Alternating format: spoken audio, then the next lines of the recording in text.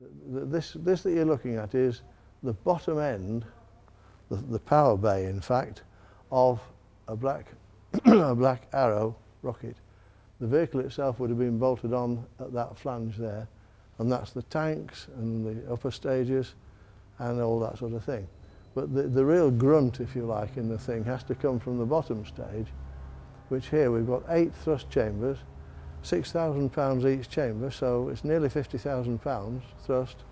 It was called the Black Arrow Satellite Launcher, and it took payloads of about 120 pounds, 150 pounds, something quite small. When you see all this other machinery, and you think all it does is, is launch a thing called Prospero, which was like a, a, a smart radio set, because it, it literally wasn't very big. And that is what Black Arrow was called, out, called upon to do. And in fact, it, it did it. Two of them hit trouble.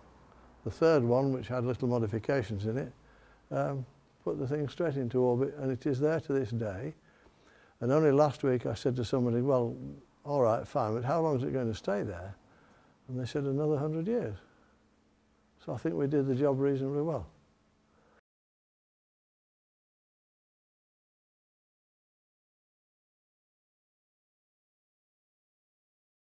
Unfortunately, the ministry man eventually came round to see us. And this, this thing was in its orbit by then, everybody happy. Ministry man comes in grinning, because they always did. Uh, and everybody thought he'd come to say, well done, lads. Now's the time to start making them all like that, and we'll have half a dozen or something. Because apparently, I, I don't know the figures, but Black Arrow was one of the cheapest satellite launches that there's ever been. And the thing to do was to make lots of them, because the electronics are coming down in size.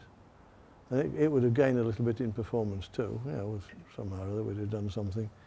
Um, the second stage instead has extension nozzles on, for instance, and maybe we could get more out of that, I don't know. Uh, but when he came to see us, he, he got up on the platform in, in the drawing office and said, I've uh, sort of come to see you today, lads, you know, it's all good stuff this is. Well done for that. And they're all sort of standing there saying, yeah, now he's going to announce work on a Mark II version. He says, so I thought I'd come and tell you, um, we can't afford it anymore, so we'll just have to sort of scrap all the stuff you've got, write up your reports and forget about it and he was seen to exit from the drawing office about this far off his trousers and things because everybody was going to, going to give him a real sort of scragging. And he, he sort of rushed out from the building altogether and jumped in his car. We haven't seen him since. But that was the sort of welcome we got for, for making this thing work.